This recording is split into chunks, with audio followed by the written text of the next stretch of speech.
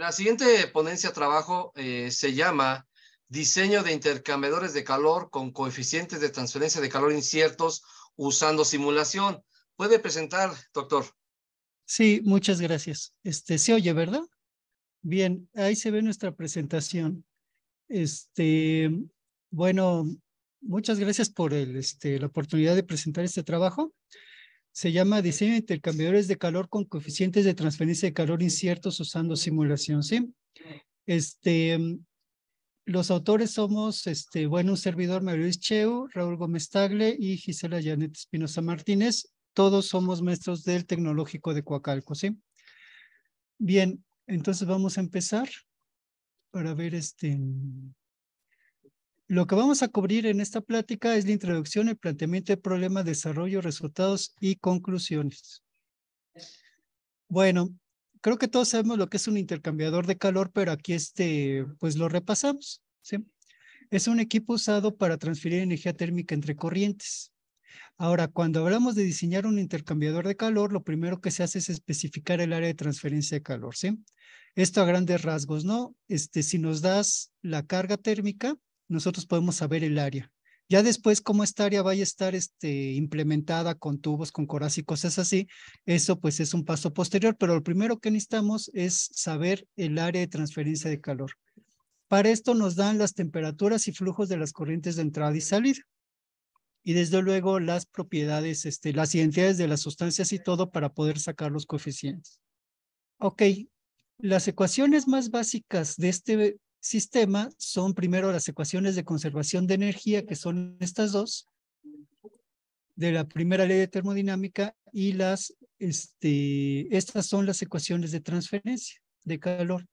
La definición de la temperatura media logarítmica y el cálculo del coeficiente global de transferencia de calor. De tal forma que cuando tenemos este coeficiente global y lo multiplicamos por la temperatura media logarítmica y el área, sabemos cuánto calor se está transfiriendo. La pregunta típica de esto o la pregunta de diseño es de qué tamaño tiene que ser el intercambiador, entendiéndose por el tamaño el área que debe de tener. Ahora, cuando estamos en esta etapa de especificación del intercambiador, siempre existe incertidumbre sobre estos par de coeficientes. ¿Por qué? Porque tienden a ser coeficientes muy sensibles a las condiciones de flujo y a las temperaturas que realmente van a ocurrir en el intercambiador. Y en esta etapa, en esta etapa no se tiene esa información. ¿sí? Entonces, ¿qué hacemos? Bueno, nosotros proponemos ajustar el diseño o la especificación de área a esta incertidumbre que se tiene en esta etapa. ¿sí? En esta etapa donde estamos diseñando el intercambiador con estas ecuaciones básicas. Es una etapa muy pronta en el diseño. Ni siquiera se ha dicho qué intercambiadores ni nada, pero ya se tiene que tener un estimado del área. Y este estimado del área, la propuesta de nuestro proyecto es que tome en cuenta la incertidumbre que hay sobre los parámetros. ¿Sí? Porque en esta etapa existe esa incertidumbre. De hecho, esa incertidumbre, yo podemos decir que nunca se quita. Siempre a la hora que, que tenemos ya nuestro intercambiador construido, pues este, en realidad los coeficientes pues son los que se producen, pero nunca, se nos, nunca sabemos su valor verdadero o su valor preciso. Ok, esto ya es el desarrollo. Ahora, los intercambiadores de calor en la práctica casi siempre operan con algún esquema de control precisamente para compensar las incertidumbres que no se tomaron en cuenta en el diseño. ¿sí? Estos intercambiadores casi siempre están diseñados para controlar con mayor prioridad una de las temperaturas. Nosotros sabemos que por grados de libertad no se pueden controlar las dos al mismo tiempo. Entonces, siempre se prioriza para un equipo el control de una temperatura y se ajusta el flujo de la otra o alguna condición de la otra, ¿sí? En la práctica, el intercambiador prioriza el control de las temperaturas. Esto es lo que se hace en la práctica para compensar la forma en que, en que se diseñaron con todas esas incertidumbres. ¿Sí? A la hora que se diseñan, se dan valores fijos. La temperatura de entrada es esto, la de salida, la temperatura de entrada es este valor, este valor, pero en la práctica van a estar cambiando y se pone un esquema de control. Entonces, si nosotros consideramos un problema de diseño y lo traducimos de decir cuál es el área del intercambiador cuando te doy las temperaturas, a decir cuál es el área de intercambio de calor y también diseñame el flujo máximo de la corriente manipulada, ya tenemos un problema diferente y donde sí podemos considerar las incertidumbres y las simplificaciones que usamos a la hora de diseñar. Porque este esquema de control lo que va a hacer es que va a ajustar, bueno, en el ejemplo que estamos trabajando, ajusta el flujo de la corriente fría para mantener la, salida de la corriente caliente en un set point. Bien, déjenme pasar. Bueno, este diagramita que estamos aquí es, un, este, es una herramienta que se usa para la toma de decisiones bajo incertidumbre. Se llaman diagramas de influencia. Utilizamos este diagrama de influencia para representar nuestra propuesta de diseño del intercambiador, pero como problema bajo incertidumbre. Este, en estos problemas, este, las variables inciertas se representan por bolitas. Las variables que hay que decidir o las variables de diseño se representan como cuadros.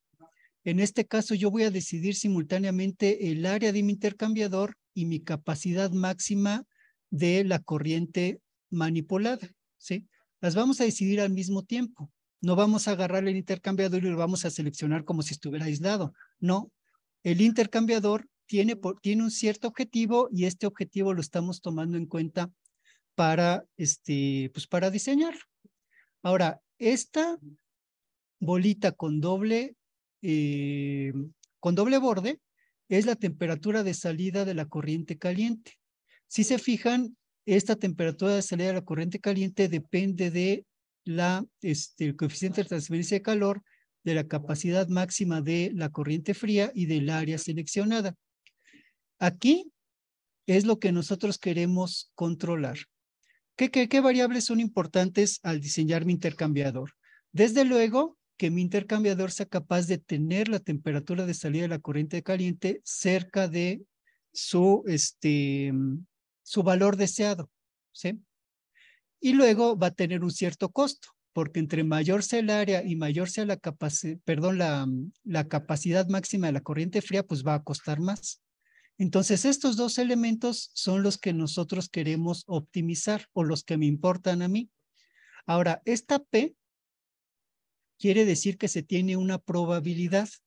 Como hablamos de un problema con incertidumbre, ya no me alejo de las certezas, ya no las puedo tener y tengo que hablar en términos de probabilidades. Si yo tengo un intercambiador de cierto tamaño y le preveo cierta capacidad de la corriente manipulada, dada la incertidumbre de los otros factores, ¿cuál es la probabilidad de que este intercambiador sea capaz de tener en el set point la temperatura que necesito? Bueno, esa es una, esa es una bronca que se da con los problemas cuando consideran incertidumbres. Abandonamos las certezas y nos ponemos a hablar de probabilidades. ¿Sí? Este, bueno, para terminar de explicar mi figurita, este, esta es la utilidad de la decisión. A mayor valor de la utilidad, mejor es la consecuencia para mí, ¿sí? Y depende de, desde luego, la probabilidad. A mayor probabilidad, yo estoy más satisfecho con mi intercambiador y depende también del costo, ¿sí? Tiene elementos de probabilidad de que mi intercambiador sea capaz de mantener ese point donde lo necesito y el costo, ¿sí? Es la utilidad es una forma de, calificar las consecuencias. Consecuencias con mayor utilidad son preferibles. ¿sí? Es lo que le decimos función objetivo también. Aquí le decimos utilidad. Em, bueno, me avisan cualquier problema, por favor, depende de que ustedes me, me avisen. Bueno, este, Bien, ejemplo numérico. Bueno, eso es para ponerle números al, al, a, lo que estamos presentando, sino dejarlo en una idea, sino ponerlo con ya con numeritos. ¿sí? A ti tenemos un intercambiador que calienta agua, perdón, enfría agua caliente con una corriente de agua fría, ¿no? No, no tendría demasiado sentido. Ahora, fíjense la información que me dan para diseñar este intercambiador. Las capacidades caloríficas por unidad de metro cúbico, este, epsilon es el diámetro de la pared de transferencia, K es la conductividad del metal y el, y el coeficiente de transferencia de calor me lo dieron como un rango bastante grande, ¿sí? Si yo, la única información que tengo es este rango como diseño. Ese es un problema que podemos enfrentar nosotros si estamos en una compañía de ingeniería, agarramos el PERRI o uno de esos libros de, de ingeniería química y buscamos un canijo coeficiente y en vez de darnos un valor, nos ofrecen un condenado a un rango. ¿Qué quiere decir? De que con la información que tengo, yo no tengo certeza de qué valor va a ser. Tengo las posibilidades. Entonces mi problema se convierte de, una, de, una, este, de un problema determinístico donde conocemos todos los valores a uno, se llaman estocásticos, pero bueno, uno, uno valor, un problema donde alguna de mis variables tengo incertidumbre sobre ellas, ¿sí? Ok. Para este, mm, les digo, con el objetivo de ponerle números al asunto, este, vamos a suponer que el costo es una función lineal del área y de la capacidad máxima de la corriente fría o de la corriente manipulada, ¿sí? Desde luego esto muchas veces no es, ¿no? Eh, los, eh, los este, parámetros de costo tienden a ser, este, creo que siguen una regla de potencias. Pero bueno, esto, esto lo estamos aquí ejemplificándolo para, este, para la presentación. Este no es un proyecto de investigación mm, acabado, se, está, se están haciendo cosas. Sí, pero bueno, ahorita ya tenemos algunos este, resultados que son los que nos están haciendo el favor de dejarnos presentar. Ok, entonces podemos agarrar el promedio de este rango y calcular un área, ¿no? Estos los llamo valores base calculados con el promedio, ¿sí? Y vamos a examinar cómo sobrediseñar afecta el desempeño del este, intercambiador. Bien, lo que estamos viendo aquí es la probabilidad de que un intercambiador con cierto sobrediseño respecto del área que mostré hace rato sea capaz de mantener la temperatura en su set point. ¿sí? Este es el sobrediseño sobre la corriente, sobre la capacidad de la corriente de enfriamiento, y este es el sobrediseño en área. Si no tiene sobrediseño, pues la probabilidad de que lo mantenga en el set point es 50, ¿sí? Ahora, a medida que aumenta los sobrediseño, el sobrediseño en área, pues esta probabilidad va subiendo, puede ser hasta 89% si tengo un intercambiador sobrediseñado en un 200% quiere decir tres veces el valor este, base o valor promedio. Igual, si yo voy sobrediseñando la capacidad de, este, de mi corriente fría, pues voy aumentando esta probabilidad, pero el efecto mayor lo da este, el área, ¿sí? Em, les digo que a nosotros, este, como diseñadores, no nos resulta cómodo ponernos a hablar de probabilidades. Se supone que el ingeniero valora las certezas, pero si estuviéramos diseñando con esa información que tiene incertidumbre, nuestra propuesta es considera la incertidumbre, no la ignores, Entonces se convierte en, unas, en un problema de probabilidades. La probabilidad máxima que estamos examinando es 92%, que es manejar un sobrediseño de 200% de la capacidad de, agua, perdón, de, corriente fría y este 200% de, de intercambiador. Si aumento estos sobrediseños, pues esas prioridades van a, van a, este, van a aumentar. Bien, estos son ya datos de las recomendaciones de sobrediseño. ¿Qué sobrediseño me conviene usar? Y hay algo que también aquí no podemos escaparnos de utilizar de, considerar. Este, de, no, podemos escaparnos de considerar, ¿sí? Mi preferencia, ¿qué prefiero? ¿Mayor costo o mayor probabilidad de tener mi, este, mi intercambiador en su set point, ¿sí?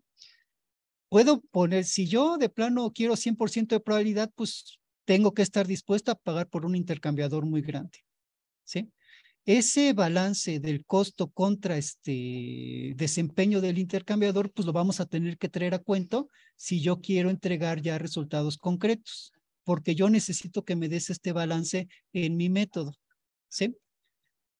En este lado, K, este, este, este peso, K subíndice CO, es la, este, la importancia que le doy a mi control. ¿sí? Cuando crece, yo valoro más el control sobre el costo. Y este parámetro de aquí es qué tan costoso es el área respecto de mi capacidad de flujo, ¿sí? A mayor valor de este, de este cociente, cuesta más aumentar el área respecto a cuánto cuesta aumentar la capacidad de flujo. Estas métricas, perdón, estas variables me permiten ya especificar qué sobrediseño me está recomendando, ¿sí? Por ejemplo, si a mí no me importa el control, pues me dice no sobrediseñes ni en área ni en capacidad de flujo. Si me empieza a importar el control más, pues los sobrediseños recomendados óptimos o los que me recomienda mi modelo de decisión van aumentando. Por ejemplo, si yo valoro mucho, si yo valoro mucho el control, esto es de que este peso vale uno, no me importa el costo, entonces me recomienda que implemente yo un sobrediseño en área de 200 y un sobrediseño de capacidad máxima de, este, de corriente manipulada de 150, ¿sí? Estas, bueno, esto es por si no, no presentamos en vivo. Este, quiere decir que en este eje aumenta la importancia relativa del control respecto al costo y en este eje aumenta el costo relativo del área respecto a mi capacidad de, este, de corriente fría. Les digo que tiene muchas simplificaciones, pero el objetivo es de que considere que realmente el diseño de un intercambiador en sus primeras etapas es un problema con incertidumbre. No, ahí, no tenemos certezas y la idea es que este, se tome en cuenta a la hora de llevar a cabo mi diseño. Bien, concluimos ya la presentación. Em, este, este proyecto se está diseñando, se está este, siendo ejecutado en el área de análisis de decisiones que tenemos en el tecnológico el análisis de decisiones se ocupa de estos problemas, ¿no? Que tengan incertidumbres y que tengan objetivos múltiples. Nosotros decimos que este problema tiene incertidumbre porque esos coeficientes de transferencia tienden a variar mucho y cuando yo estoy diseñando en un escritorio basado en un handbook, pues tengo un montón de incertidumbre. Y, este, y tienen objetivos múltiples porque hay un objetivo de costo y un objetivo de desempeño que hay que balancear. Entonces, este es un problema que cuenta con esas dos fuentes de dificultad. Em, bueno, esto es lo que les he comentado. Su aplicación es de intercambiador de calor.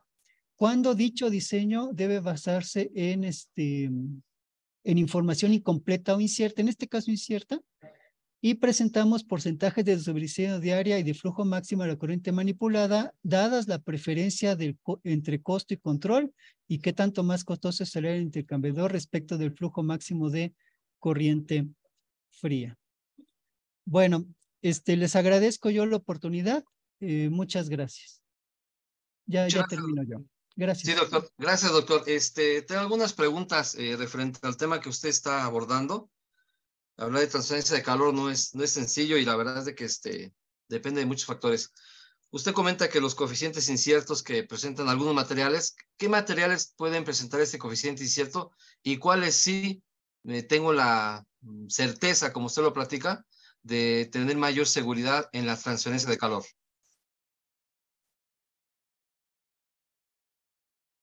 Sí, este, ah. sí, sí, muchas gracias. Sí, este, los coeficientes inciertos tienden a ser, bueno, no, no, somos expertos en transferencia de calor acá, pero los rangos más amplios tienden a ser para los, eh, los convectivos, sí, este, de convección forzada. Ese que le muestro ahí, rango tan amplio de 600 a 1200 a 12000, este, está en un libro, el Roffel, que nos estamos basando, este, y es para el agua. Eh, en el caso de los conductivos, eso, esos no varían tanto, por ejemplo, del metal. Entonces, no, consideramos la incertidumbre en los coeficientes de, de, conducción del metal porque esos no cambian tanto. En cambio, los convectivos sí, sí tenemos, este, bueno, los libros presentan rangos muy amplios. ¿Sí? Y, este, y ese es el problema que queremos atacar. Son los de convección, sobre todo en líquidos ligeros y gases. Ok, entonces, ¿qué tanto la dispersión de ese material podría abonar a que fuera una mejor transferencia? ¿Sería importante una dispersión, algo así? Eh, sí, yo creo que sí. Yo creo que sí en un diseño en una segunda etapa de diseño donde ya se tiene más idea de cómo va a ser el intercambiador, sí se puede, yo creo que sí se puede tomar en cuenta ese efecto de dispersión en el, en el sistema. Ok, doctor. otra pregunta, este, ¿qué tan importante es la instrumentación y los accesorios dentro de este diseño?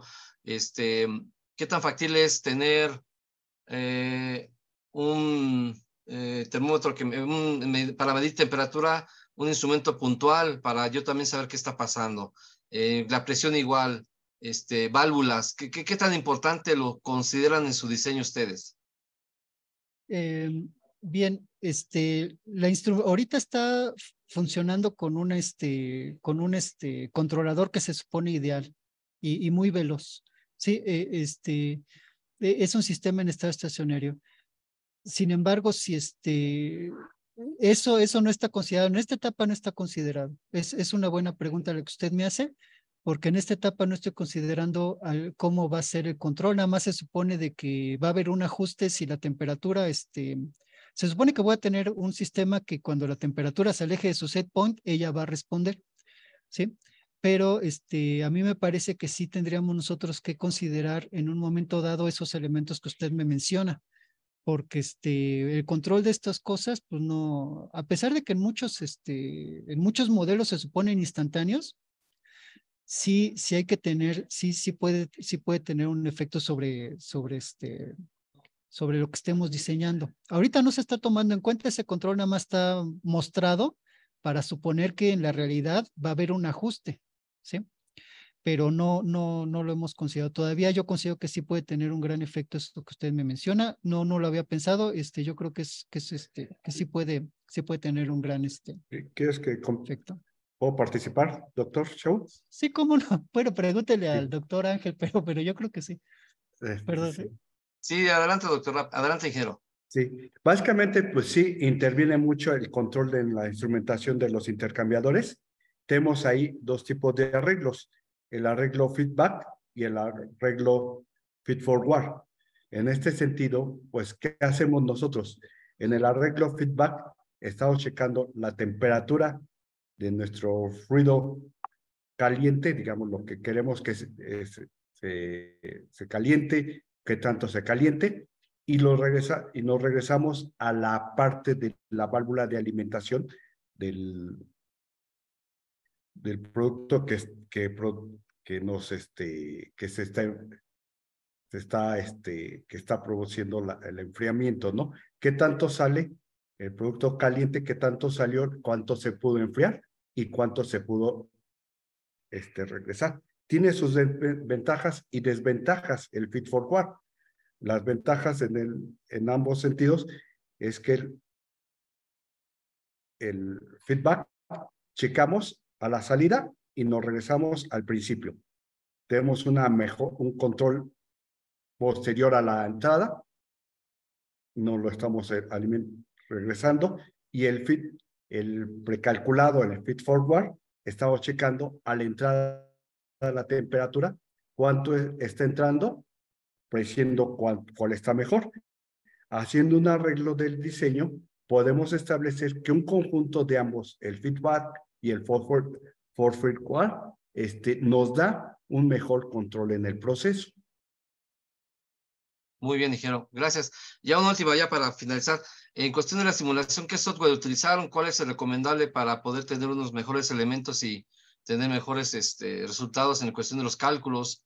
¿Qué software nos recomiendan? Eh, eh, bueno, este, eh, eh, eh, en realidad aquí lo que se hizo fue nada más implementar la solución de esas primeras ecuaciones básicas que mostré al inicio de la, de la, este, de la presentación, ¿sí? Y nada más implementarlo en este Visual Basic, unos, unas rutinas para resolverla. Sí, este, no, no usamos algún software propio de, de, simuladores realmente porque el sistema es bastante sencillo. Si tuviéramos a lo mejor más, varios intercambiadores ahí conectados, a lo mejor necesitamos un apoyo de, como el que usó el pero no ahorita son, son rutinas este, programadas en Visual Basic que corren este, en macro. No, no usamos ningún, ningún simulador como tal.